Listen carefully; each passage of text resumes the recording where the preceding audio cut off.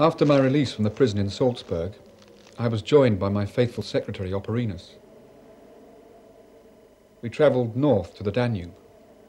There we headed west along its valleys. I was surprised by the warmth of the welcome given us by the villagers. Most of them seemed to have heard of me, and some gave us food and lodgings. Others brought their sick ones out for me to tend. Oporinus had told me of a wondrous German pastor from Basel, Oecolampadius, a humanist who, unlike Luther, had compassion for the peasants and the Anabaptists. Out of humanity, I too was forced to side with the Anabaptists, who dared to read the scriptures in their own tongue and to worship in their own fashion. Spurning what was strictly Catholic and conservative Protestantism, for this they were cruelly persecuted.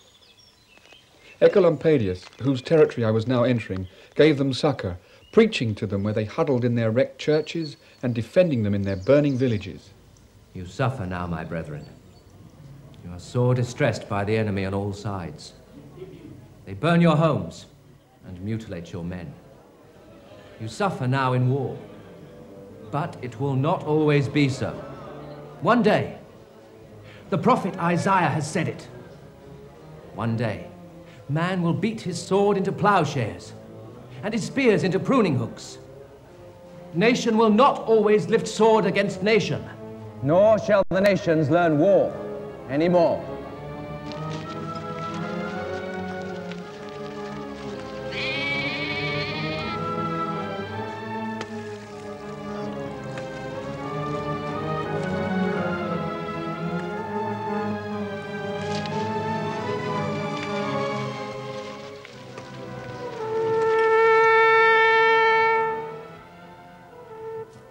Master, do you hear that?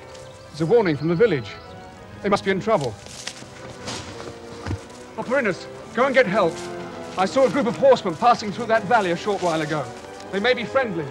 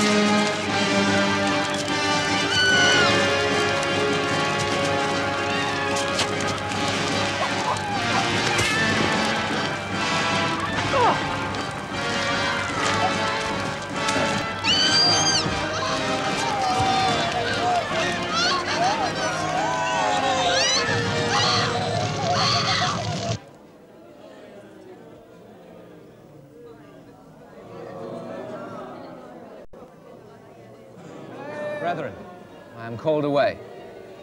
There are those that have even greater need of me.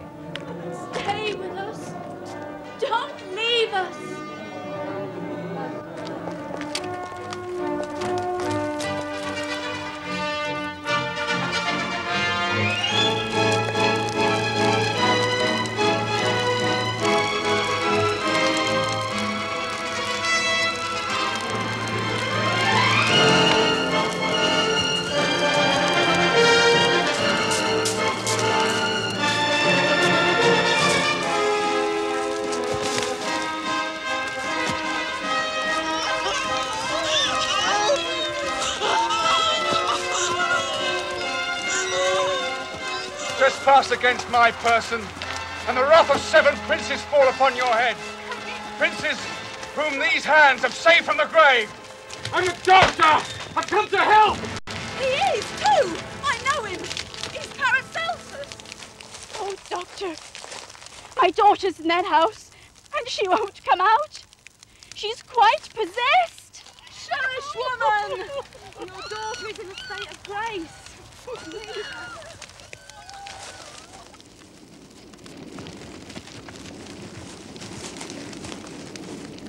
My God is an all-consuming fire. My God is an all-consuming fire. Help! Help! Help!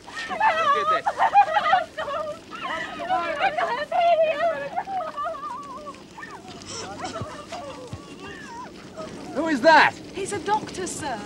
Our menfolk are away, and he comes up and rushes straight into the burning houses. Badly burned they were. Paracelsus, he's tending to him. Gather yourselves together, my dears. My men are here. They will protect you and take you to our encampment. You men! Organize some litters and take the doctor's patients into Freiburg.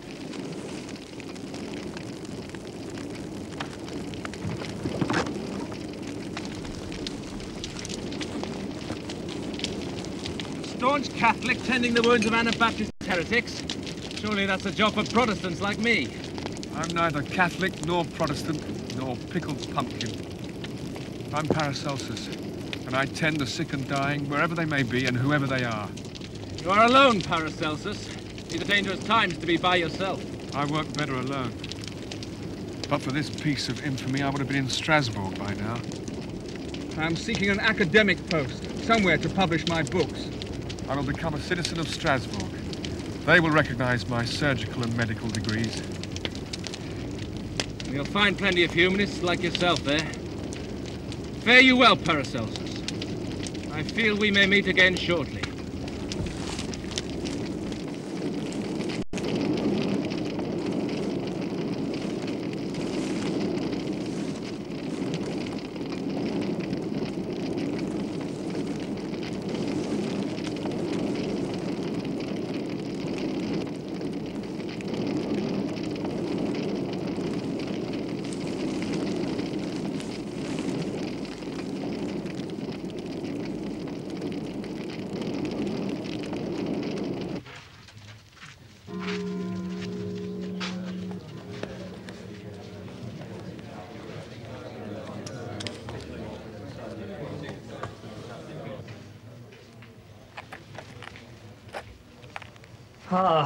Dear Wendelinus, you have a new student of some fame. He is attracted to your public dissections. You mean Paracelsus? Well, he is German and is apparently taken with my lecturing in German and with your writing a book in it instead of Latin. I think you'll find his interest is more than that. He would like to do some lecturing himself. Indeed. I know of no vacancy in the Department of Anatomy. Nor is there one in surgery, at least not for him. This young turkey cock is up to something. He says he would like to lecture on living chemistry, I think he called it, whatever that means. The chemistry of living things. Yes. I hear he has a morbid fascination with the passage of food through the body, wants to examine the changes it undergoes down the path to the intestines. Damn perversion, I call it. Yes, well, he would have many opportunities to observe the phenomenon in soldiers dying of shrapnel wounds, wounds in the stomach, you know, bowels hanging out and that sort of thing. Yes. I heard that only last week he'd been sewing up the heads of Anabaptist heretics and peasant anarchists in that fracas down south. Well, he's another one of these humanists. They're always up to something. This damned university is full of them. Paracelsus is a busybody and a know-all. He needs his wings clipping. I'll see if I can't arrange a public debate with him on a point of anatomy. I'll give him a thorough whipping. He'll soon be discredited.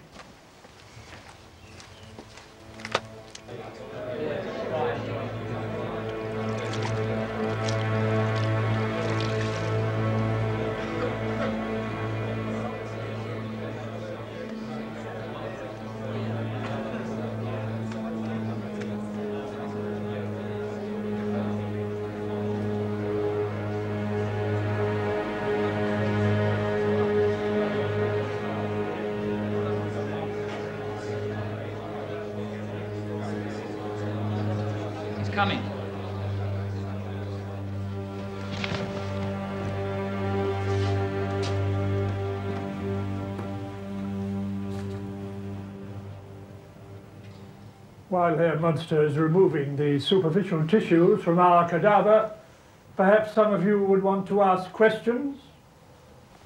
Ah, our newcomer, Paracelsus, hot foot from the field of slaughter. Dr. Hock, is there really anything to be learned from the anatomy of the dead? Can it tell us anything about nature and the natural order of things? Surely, the dead fragments we're examining today cannot tell us what moves the blood in its vessels, what shortens the muscles in their contractions, what makes us think and feel. What we need to know is withheld from us because the parts we are looking at are dead. But student surgeons must have some starting point, Paracelsus. And what better is there than a pliant cadaver? The corpse cannot answer you back. Alas, the real anatomy of man has never been dealt with. It is the anatomy of the living body, not the dead one. The anatomy of health and disease is to be found in the living body, not in a corpse, and certainly not in the teachings of ancients like Galen. Are you aware that today's most celebrated anatomist, Senor de Carpi, has completed the dissection of more than a hundred heads and has found dozens of bones and muscles not even mentioned in Galen's books, into which these students must dip their heads like crows digging into carrion. Senor de Carpi is so embarrassed by his discoveries, he has to pretend that the mistakes in Galen's books are printer's errors. Perhaps you field surgeons have a reasonable fear of opening the dead body. It could so easily expose the surgical mistakes you perpetrate on your victims. How very droll. You have an upper limb in your hands. It is only a part of the whole. It can tell us nothing about the unfortunate one from whom it was taken. His hopes and aspirations, the fears that rent him, and the joys that lifted him. Tells us nothing of his diseases, or even of his good health.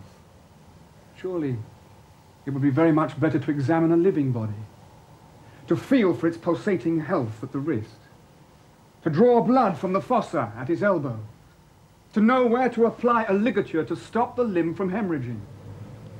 Why, only last week I had an occasion to dress a gunshot wound of the shoulder. Yes, Dr. Hohenheim.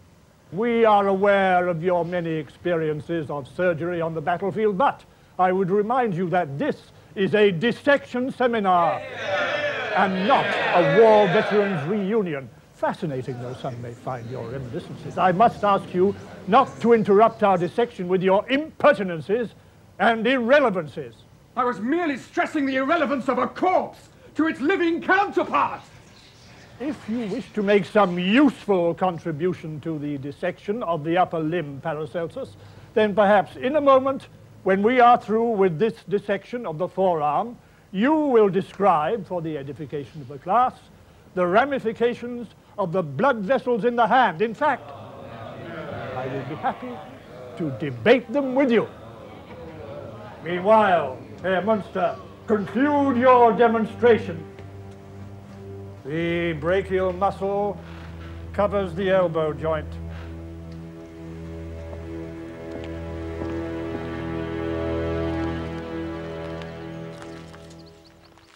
What is it, Oporinus? You are being summoned to Basel. Frobenius, the revered humanist and publisher, is dying. The whole city is beside itself with grief. He is so popular, but no one can help him. Froben has a malignant infection of the leg. Yes, and the medical guild advises amputation. That wouldn't save him. I must leave immediately. He's far too precious a person to lose. Now, Oporinus, go and hire me the fleetest horse you can. I'll collect my instruments together and meet you in the south gate in half an hour. Come on to Basel later with the baggage. I will go at once. Now, Paracelsus, you will open our debate on the blood supply to the hand. Huh, the bird is flown. Raven cannot stand the stench of a fresh corpse. First blow to me, I think.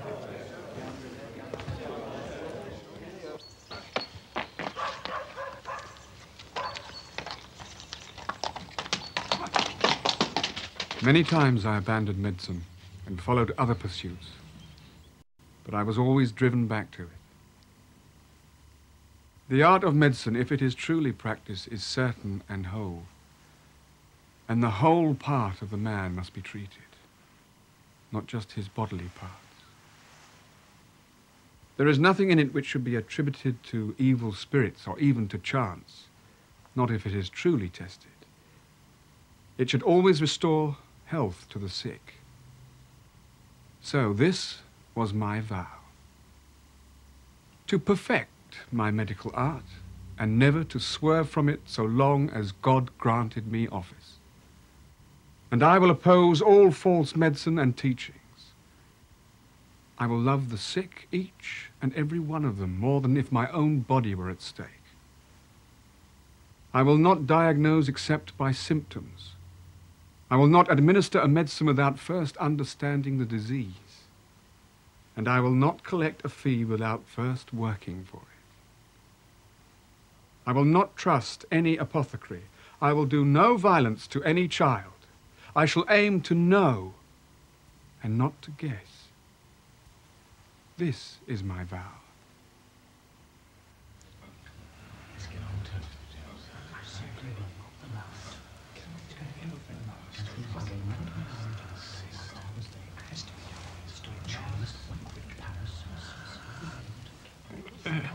Hieronymus.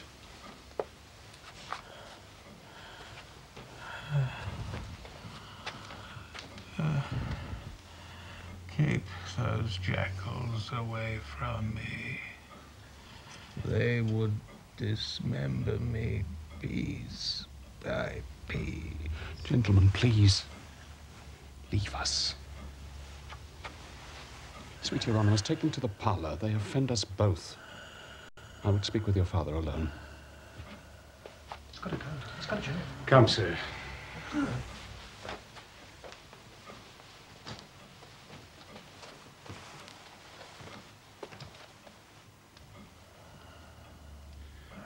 Oh, Johannes. My heart is torn in twain. The one half sides with you and rejects with rank disgust the surgeon's waiting knife. The other would see you live, though halved in mass, in spirit stoutly undiminished. Grieve not, frail one. There's sores here even now, with the same wind that rustles yonder trees. One Aureolus, my deliverer. The golden one? You mean Paracelsus? Theophrastus Hohenheim. Even he. Hmm.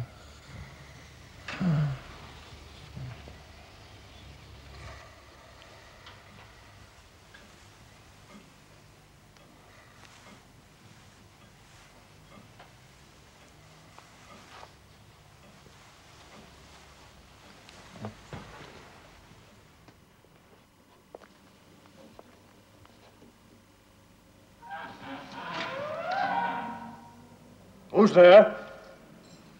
Brunschwig, Montenemus. Brunschwig.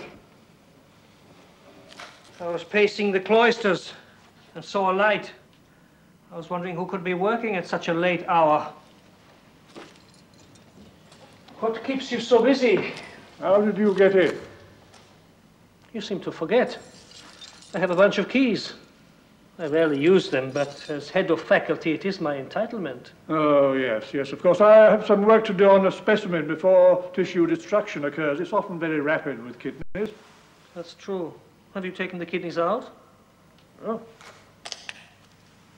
No doubt about it. Died from kidney failure. Some have it that uh, you scored a victory over young Paracelsus yesterday, Hock. No. Oh, yes, I think so. It is whispered that in the middle of it all, he was called away to Basel to treat Froben. Contrived, no doubt. Contrived. Aren't you being a little vindictive? I have looked into that young man's records. He's obviously skilled in surgery, but it seems that he has explored new fields in medicine too. He's no innovator. I don't know about that. It seems he is curing venereal diseases, and that takes a bit of doing. Pure luck. The man's a charlatan. Everything he does is suspect. Oh, come, come, Hock. The man has some sound ideas. Such as what, pray? Well, for instance, sometimes he spends months in the hills treating all comers. And in places where there are no apothecaries, and yet he never seems to carry large stocks of remedy. Uh-huh. People have remarked on it. It seems to bear out his proposition that only minute doses are ever needed. So long as they're sufficiently purified, they are effective. He even states they are more effective than larger doses. What nonsense! You really are severe. I would even say unreasonable in your judgment of him. Well, I will let you get on with your work. Good night, Hock. Good night. It's sad about Froben. A good friend, a good publisher. I hope Paracelsus can help him.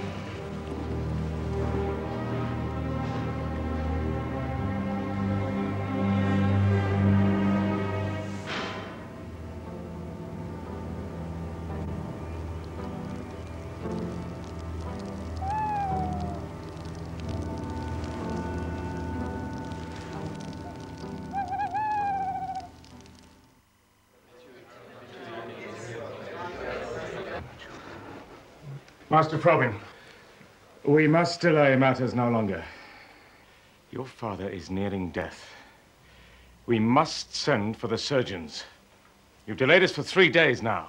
You will not amputate until I hear from Paracelsus. Your father is entering a coma from which he is unlikely to recover. It's a week now since you took it into your heads to send for Paracelsus. He's not here. And I doubt very much if he will. He will come. And, gentlemen, let me remind you that he is both surgeon and physician, and well capable of healing my father. I don't think that you understand. There can be no healing here. The foot is almost black. I don't doubt that when your father fell, he cut the flesh almost to the bone. The infection is very deep. Now, Master Froben, I'm well aware that you belong to a group of scholars with progressive ideas that like to call themselves humanists. Well, I am not one of them. I will not have such irresponsibility in the field of medicine, still less in matters of faith. I will not allow a madman like Luther to obtrude his ideas into the sick room.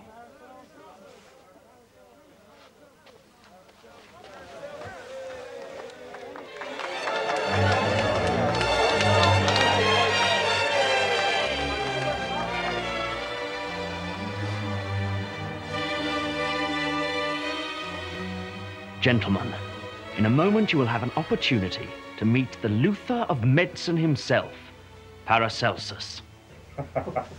the Luther of medicine.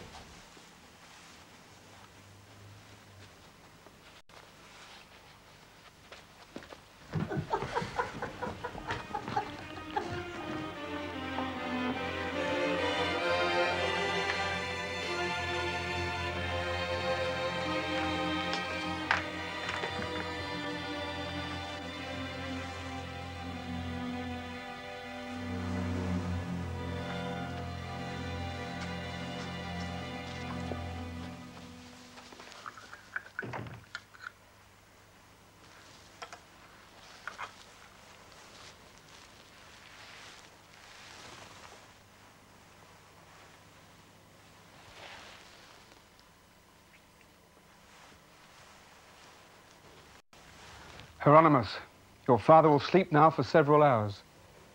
But I need your help. Nurse, cut those bandages very carefully from the patient's leg. Remove those stinking balsams. The wound must be exposed to the air whenever possible.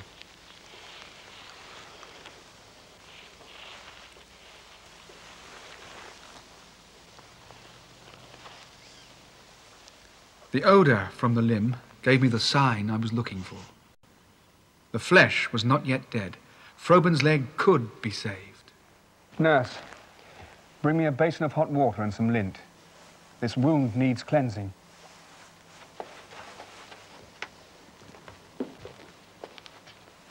Hieronymus, how far can we trust this old nurse? You can trust her with everything, except a secret. I thought as much. Amputation will not be necessary. Healing will proceed apace. Thank God I arrived in time. Hieronymus, you will see some strange things administered here today in the name of treatment. Do not be over-concerned. I have to protect my methods from every doctor, apothecary, and nurse. Here I have a list for the apothecary. I have purposely made it a long one. In reality, I only need two of these items, though I dare not order them alone. If I did, every doctor and apothecary in this city would know what was in my list. I have included many items so as to confuse them. Quite understand.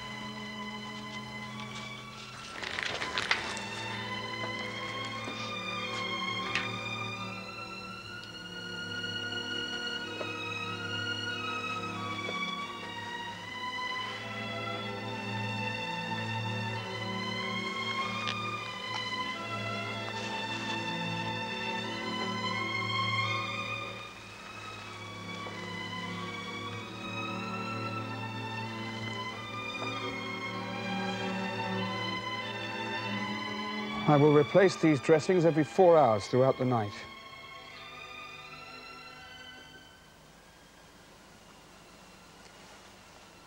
Nurse, you may go home now to rest.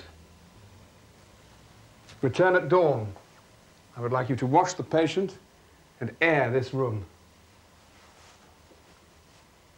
Good night, nurse.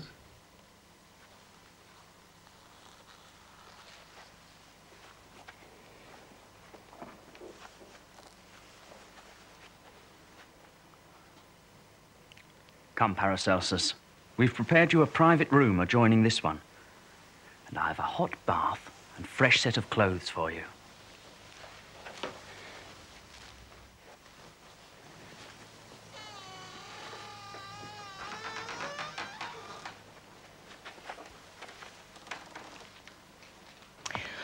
Master's much better, sir. Even has his own colour back given him a wash down and the fever is gone. And Dr. Pa- uh, Pazelski, he said the master slept all through the night again. Oh, in three days I've seen his leg all bruised and horrible, turn white. Oh, it's a miracle.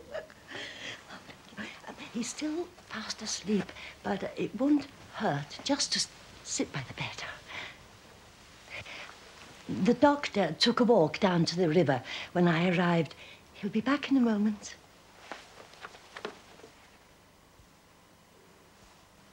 Oil of mastic, pound of antimony, juice of white tartalan, six. What next? Oil of myrtles, pound of aloe, white vinegar. Heavens, which of these does he put on the master's wound? None of those, old nurse. I have here something else for that. Fresh from the riverbank. Hieronymus, the news is good. Your father's pulse is stronger, the fever is gone, and the poison is abating. You must be Boniface Amerbach.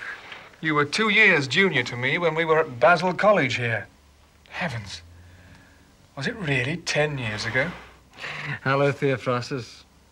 You once poured a flagon of Bordeaux over my head. Holy Mary. You must have been round the world since then. Oh, aye. And not with Magellan. Well, man. The last I heard of you, you were in Moscow. Weren't you captured by the Tartars there? Oh, yes. Some captivity. I didn't resent it a bit. I had the time of my life. I did hear that the authorities nearly strung you up last year. That was a bad one, the peasants' revolt. Well, it hasn't stopped the sale of your books in this city, Paracelsus. They're still as popular as ever. Yes. It was last Christmas Eve.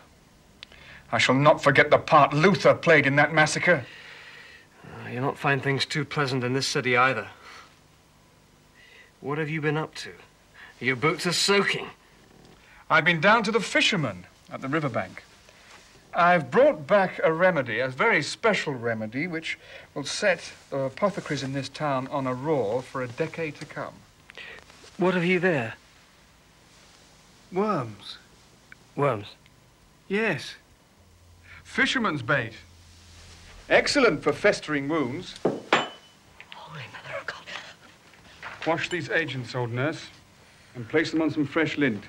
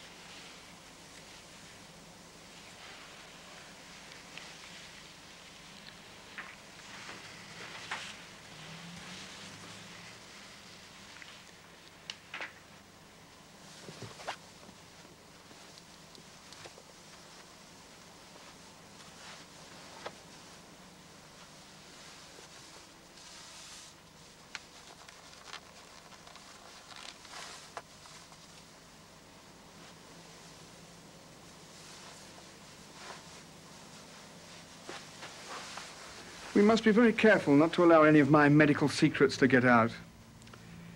Cleansing a wound with worms is a very ancient method, known only to the highest savants. The knowledge of this could command a high price among the town's doctors and apothecaries. No one must say a word of this outside this room.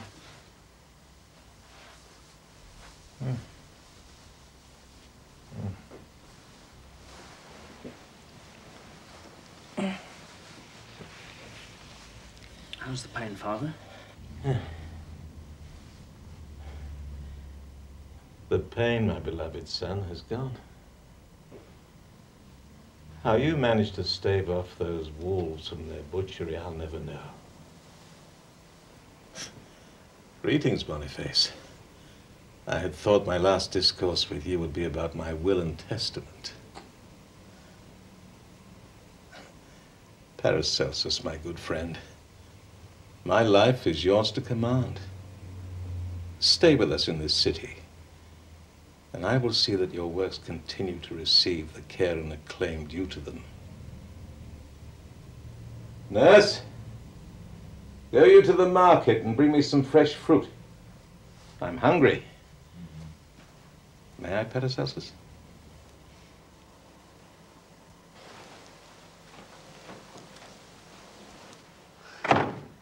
Paracelsus, you're a tease. I was dozing just now. I heard you up to your pranks. Worms, indeed. I was told quite definitely in Strasbourg that there was a confrontation between Paracelsus and Dr. Hock in a public lecture, and that on some matter of anatomy, Paracelsus backed down. Well, I'm not surprised. He's quite undisciplined. The other day at Froben's, his handling of the patient was quite alarming. There's his nurse. Yes. And what the old piece of carrion is up to. It's lucky she doesn't come up for licensing with me. Excitable old windbag. I bet she's going to fetch the surgeons. I told you amputation was inevitable. Too damn late now, of course. Should have done it three days ago when I was there. See if you can find out anything, apothecary.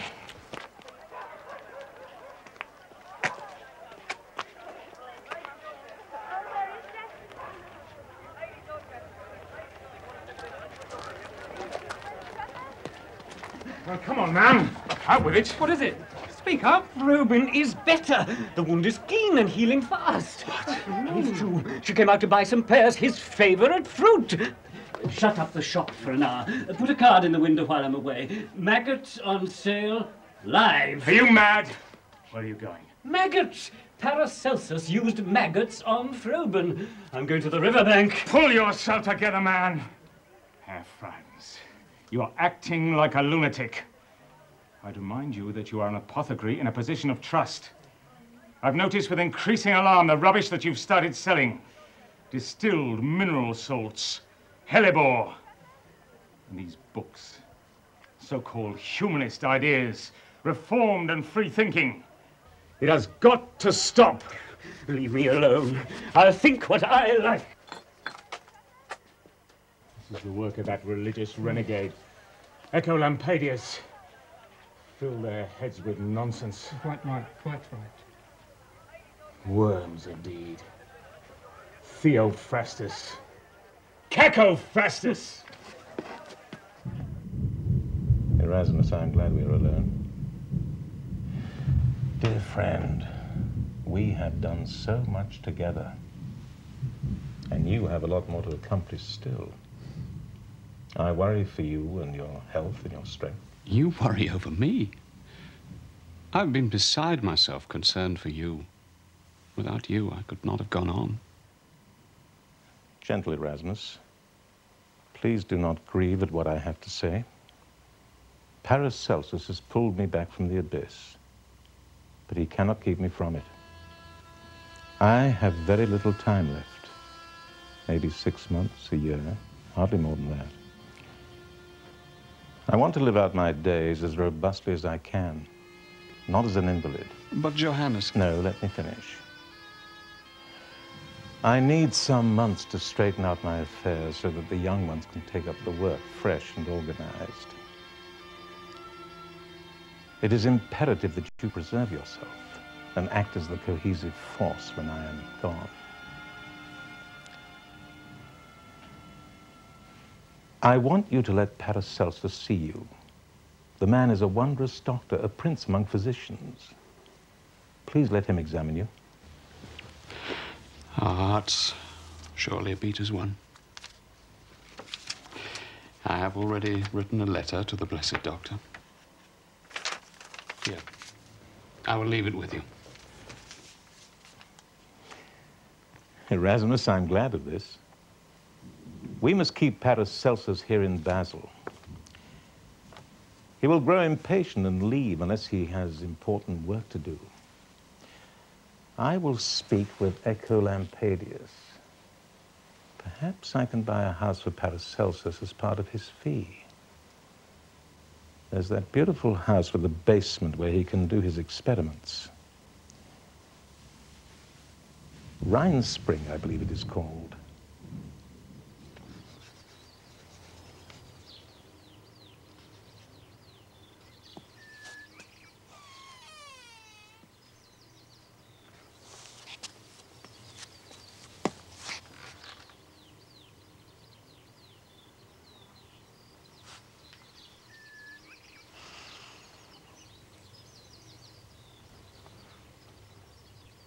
Boniface, dear boy.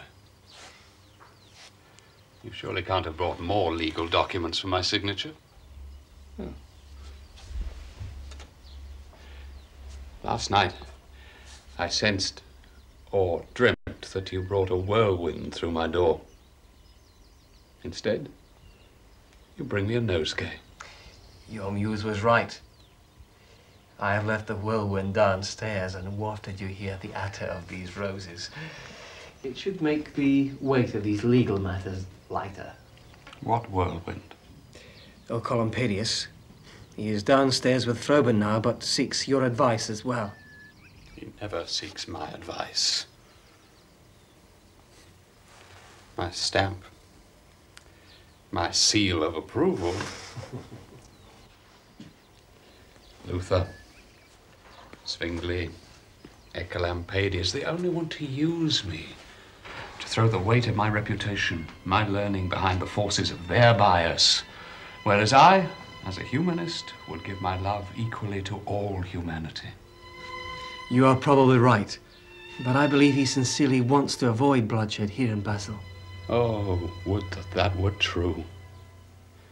I wonder what urges men to such a pitch of madness that they will make any effort, incur any expense, meet the greatest of dangers in order that they may kill each other in war. We spend our lives at war. We are no better than the wild beasts that fight among themselves, and yet they use only nature's weapons, not these diabolical machines of war, and they fight only to defend themselves or for their food or to defend their young. Oh, Boniface.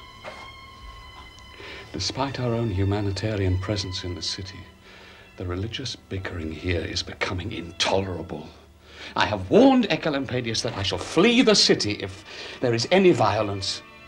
Both Catholics and Protestants are equally to blame. Oh, this viciousness frets my pygmy body to decay. War is sweet only to those that know it not. And I, alas, know it only too well. I remember in Bologna, Julius, the old Pope, entering the city at the head of his victorious troops. It was the most disgusting spectacle I ever saw. I vouch the old fox did not enter heaven so easily. Oh, do not fret yourself so. I suppose he was no worse than that brigand with the flaming red hair that called me a chameleon in public because I would not side with either of the factions warring for control of Basel. He actually called me a pernicious enemy of the gospel. Ludwig Baer, yes. Yes, but oh, Oecolampadius expelled them from Basel the same day. There. He heeded you then. He'll heed you now. I had a pupil, Boniface. His name, Alexis Stewart. His father, Scotland's king. I never loved a youthful intellect as much as his. He died in battle at Flodden. The antique ring he gave me bore the seal Youth and death yield to no one. They alone are eternal. He was a bastard son, like me. His youth in war gave way to death. See, from it I made my seal and called it Terminus. Oh, Boniface, this world is too much with me. Beloved Erasmus, Oecolampadius is here to talk to you about Paracelsus. He's a plan to keep him in battle. Paracelsus. Now there is an alpha to anyone's omega.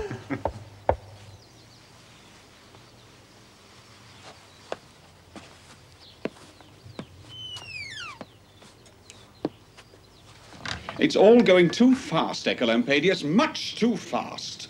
Why can you reformers not leave it to the gentle processes of enlightenment, scholarship, and the printing press?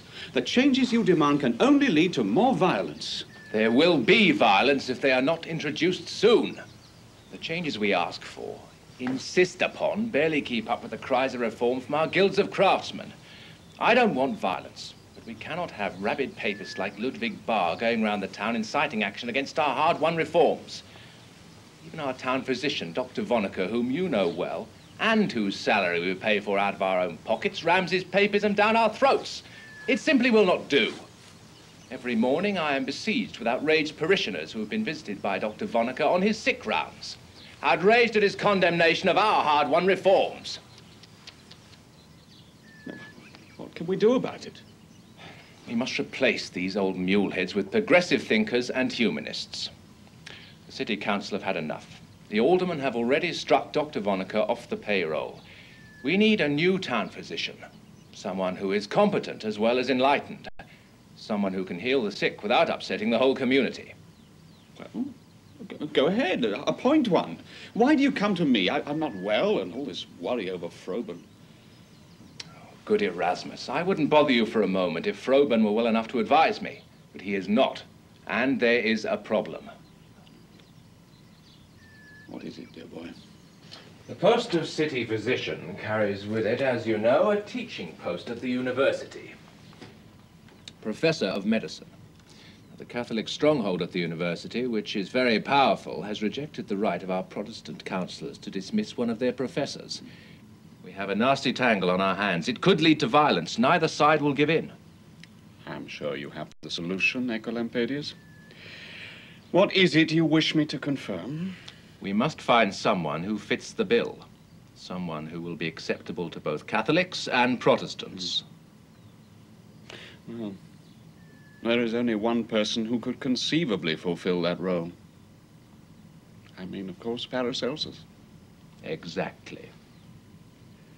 For once, we are in absolute accord, but tarry a moment. I must insist on one thing. Paracelsus is a brilliant doctor, a brilliance matched only by his excellence as a lecturer, but he is also a most spiritual person, ill-equipped for politics. He's far too straightforward and outspoken for that. I do not want him used as a pawn in the politics of this city, Oecolampadius. You have my assurance. I will spare him that. You've seen the worth of this man yourself. Paracelsus needs a home, a place to conduct his experiments, to see his patients, and above all, to write his books. Froben has offered to buy just such a house for him, but Froben, bless him, is already heavily extended, financing this publishing house. Erasmus, I am as much concerned for Paracelsus as you. I will see that the city provides him with just such an establishment. Then you have my blessing.